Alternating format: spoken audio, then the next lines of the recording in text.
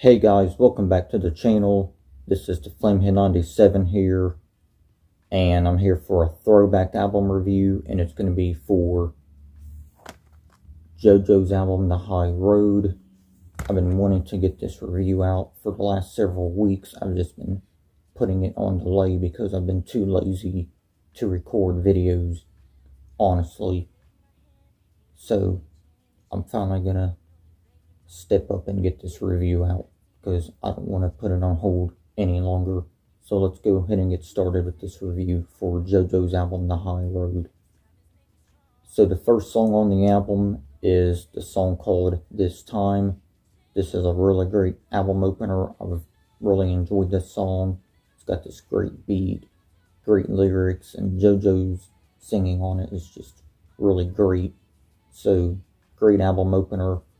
I would give this song a 4.5 out of a 5. Great song. Second song on the album is the song called The Way You Do Me. And now, when I first heard the song back in probably like November of 2021, I wasn't really feeling the song at first, but then the more and more I listened to the song and the album, full, the song pretty much grew on me. So now it's a song that I like. I mean, it's not my favorite on the album or anything, but it's a song that did personally grow on me over time. So the way you do me, cool song. Was produced by Swizz Beatz and I think Sean Garrett, if I remember correctly. It's definitely a cool song though. It's pretty fun as well.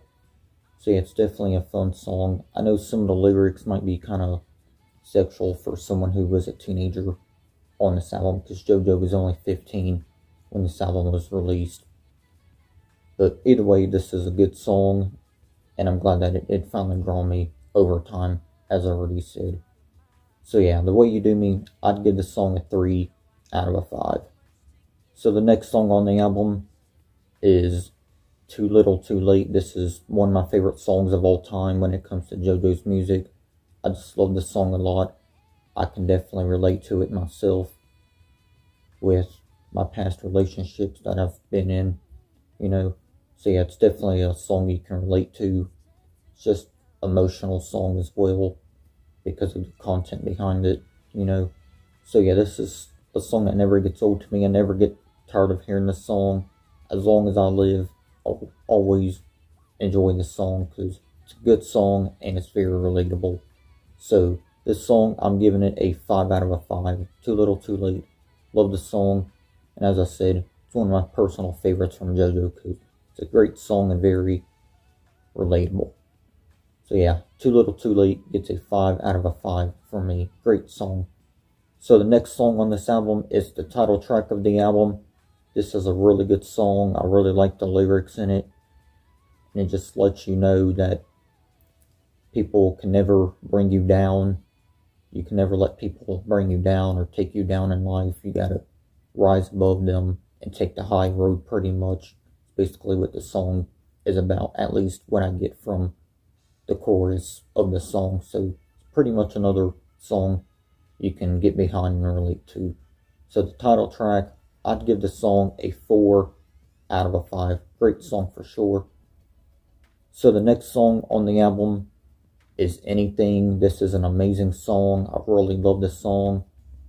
It's my favorite when it comes to the more underrated singles from the album because the biggest hit when it comes to the singles was Too Little Too Late.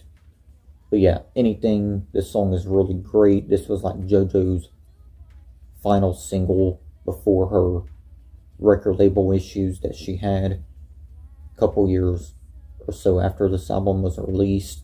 So it's definitely sad stuff. But however, anything is still an amazing song and it's one of my favorite JoJo songs of all time. And I just really love this song.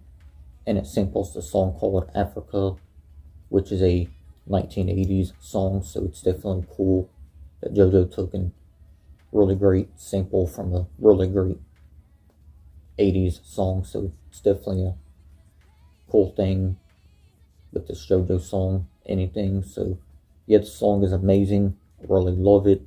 So this is another song I would give a 5 out of a 5 for. Definitely a great song.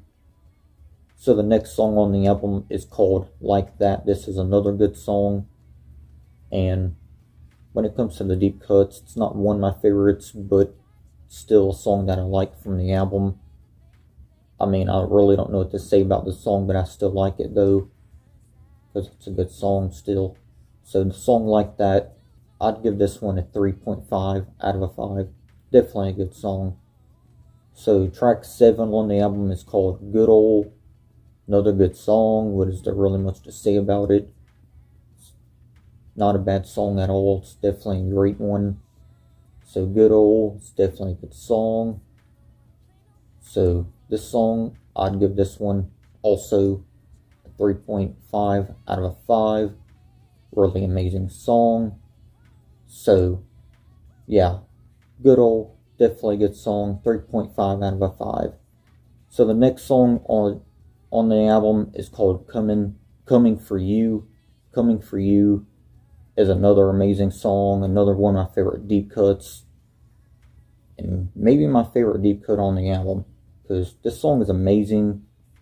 I just love listening to the song every time I listen to not just the album, but JoJo in general. This is a song I come back to a lot when it comes to her discography. So this is another song I'm going to give a 5 out of a 5 for. I love it a lot. Definitely amazing. Great lyrics. Just everything about this song is amazing. So yeah, coming for you, 5 out of a 5. Amazing. Next song on the album is Let It Rain. Every time I hear this, I get Ashanti vibes because of the vocals from JoJo, just the way she presents herself and sings in it.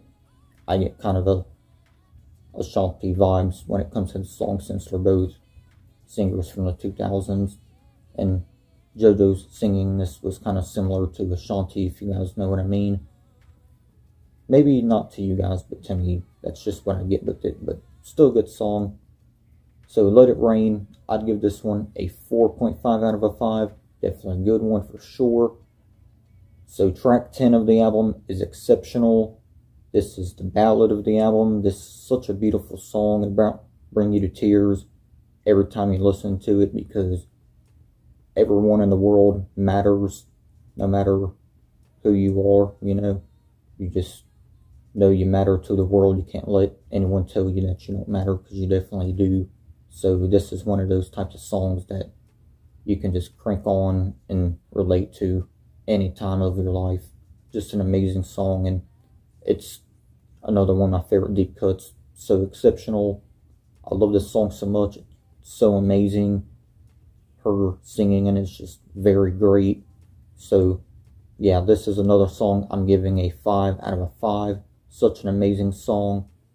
So yeah, exceptional, definitely amazing. So track 11 of the album as How to Touch a Girl. Now honestly, when I first heard about this song, I wasn't really into it. But the more and more I got to hear it, I grew into the song pretty much. Just similar to one of the songs I mentioned earlier on in the review. So yeah, How to Touch a Girl is definitely a good song. I believe it was one of the singles. It's more underrated when it comes to the singles because not many of the singles on this album were big hits, honestly, and that's sad because this is such a great album. So yeah, How to Touch a Girl, I'd give this one a 3 out of a 5. Definitely a good song. So the closing track of the standard edition of the album is the song Note to God. This is another emotional track because in the song JoJo is saying a lot of amazing things that she would say in a note to God. So, yeah, note to God. I love this song. It's another great emotional song from JoJo. So, I would give this song also a 5 out of a 5. Just another song that I'm giving a high score for because it's amazing. Another one of my favorites on the album. So, I'm finally glad I got this review out for you guys for JoJo's album, The High Road.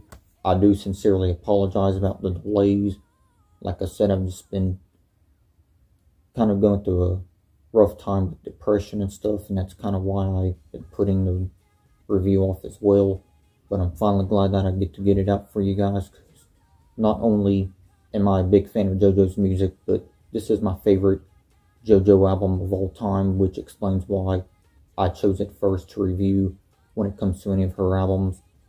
So yeah, this album, I'm going to give this album a 9.5 out of a 10, only because there's a couple songs that, or songs that I still like, but they're not favorites for me, those being The Way You Do Me and How to Touch a Girl.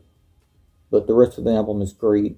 All 12 songs are good, but that's just how I feel about two of the songs. 10 of them are really good, just two I like, but not favorites. So that explains why it's getting a 9.5 out of a 10 rating. So yeah, guys, this has been my review for The High Road by JoJo. Let me know what y'all think of JoJo and this album. If you never heard of her, I definitely recommend her music. If you're a fan of R&B and pop music, even though this is a straightforward R&B album. So yeah, I'll see y'all next time. Peace.